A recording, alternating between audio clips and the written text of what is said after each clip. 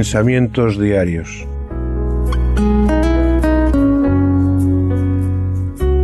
Sencillas pero profundas reflexiones para cada día de nuestras vidas. Meditaciones de la palabra de Dios nacidas de un corazón agradecido por su gracia y misericordia. Pensamientos diarios.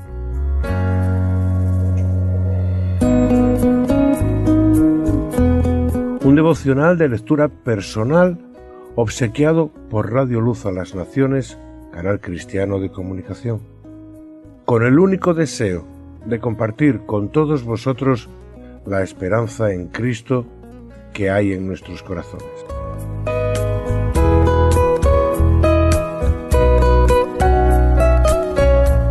El dulce pan y el consejo suave.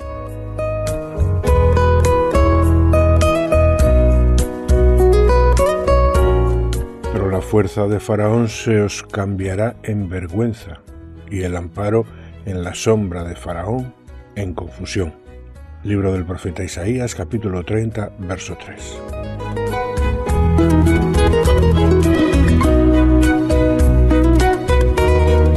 El periplo del pueblo de Israel en busca de la tierra prometida, sus luchas para poder tomar posesión de ella y sus devaneos con los dioses de aquellos pueblos son un reflejo de la vida del cristiano. Esto no supone desvelar ningún misterio. Todos los que hemos decidido en algún momento de nuestras vidas recibir a Cristo como nuestro Señor y Salvador, hemos experimentado en algún momento este desierto del Éxodo. Pero también hemos experimentado y contemplado cómo los muros de nuestro Jericó caían ante nuestros ojos. Aunque también experimentamos la esclavitud de Egipto, y aquí cabría una pregunta. ¿En qué momento pasó el pueblo de Israel de ser un huésped a ser un esclavo de los egipcios? La Biblia no nos dice el momento exacto en el que esto sucedió o qué día se decretó la esclavitud de Israel. Tal vez porque cuando esto sucede en nuestras vidas nosotros tampoco somos conscientes del cuándo y del cómo o del por qué esto sucede pero que si no estamos atentos a nuestras decisiones de cuándo, cómo y de dónde buscamos y esperamos apoyo y refugio, acabaremos esclavos de Egipto, eso es seguro. Hay de los hijos que se apartan, dice el Señor, para tomar consejo, y no de mí, para cobijarse con cubierta, y no de mi espíritu, añadiendo pecado a su pecado.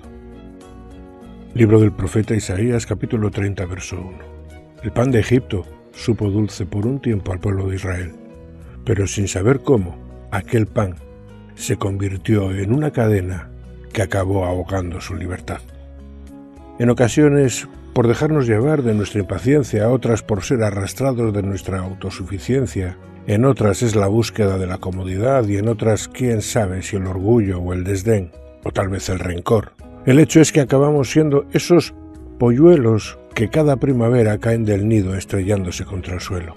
Abandonamos la cobertura del lugar al que Dios nos llevó, nos desarraigamos de la tierra en la que Dios decidió plantarnos, decidiendo que sabemos más que Él de eso de dar fruto y darlo en abundancia. Ya Cristo se enfrentaba a estas situaciones. Al oírlas, las palabras de Jesús, muchos de sus discípulos dijeron, dura es esta palabra, ¿quién la puede oír? Desde entonces muchos de sus discípulos volvieron atrás y ya no andaban con él. Dijo entonces Jesús a los doce, ¿queréis acaso iros vosotros también? Evangelio de Juan capítulo 6 versos 60, 66 y 67. No es nuevo lo de buscar el dulce consejo o una sombra frondosa cuando el sol de justicia nos angustia en el desierto. Pero ¿alcanzaremos a beber del agua de la roca si nos quedamos bajo esa frondosa sombra? ¿O estaremos haciendo de esa sombra nuestra prisión? No sabemos en qué momento fue que Israel pasó a ser un esclavo, pero no es posible que nadie se diese cuenta de ello. ¿Dónde estaban puestos sus ojos? Pero hoy, hoy, hoy ya no somos aquel pueblo que desconocía las artimañas del enemigo.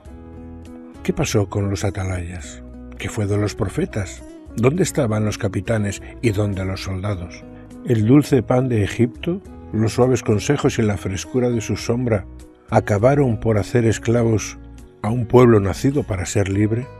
Despertad, despertad, almas dormidas, escuchad y levantaos, salid de la comodidad de este pan dulce, y mirad vuestros pies, sucios del barro de los ladrillos del mundo. Levantad vuestros ojos al cielo, salid a la libertad a la que fuisteis llamados.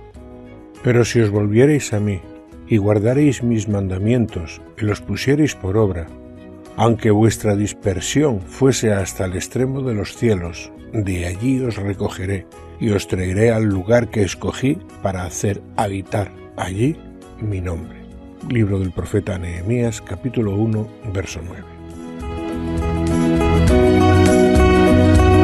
Pensamientos diarios. Meditando en la palabra de Dios.